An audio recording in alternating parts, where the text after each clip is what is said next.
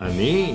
אני מצביע לציפי לבני. לבני היא בחורה נחמדה מאוד. היא בליכוד. לא, מה פתאום, היא בקדימה. איזה קדימה? אין קדימה. היא בקדימה. אתם שניכם השתגעתם. היא בתנועה. בתנועה? בתנועה גם אני הייתי. היא בקדימה. היא בתנועה. עם זה עם הזקן, נו, איך קוראים לו? פרץ. ארץ זה ההוא עם השפם, והוא במפלגת העבודה. לבני לא במפלגת העבודה.